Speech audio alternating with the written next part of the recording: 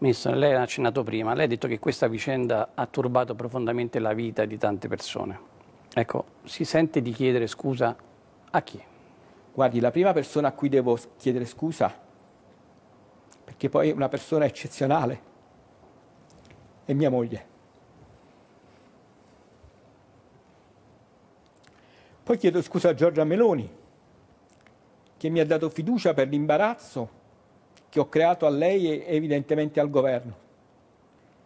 Chiedo scusa anche ai miei collaboratori che impropriamente, pur non avendo fatto niente, si trovano investiti da questa vicenda.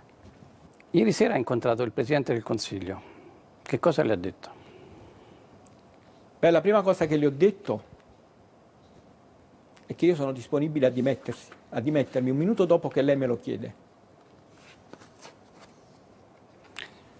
Poi gli ho anche detto che però, e l'ho rassicurata anche con le prove documentali, che questa è tutta una vicenda di gossip, che mi rendo conto è fastidiosa, ma che le ripeto, non un euro dei cittadini italiani è stato mai speso in questa vicenda e nessun documento riservato o classificato o comunque inerente attività delicate è mai circolato.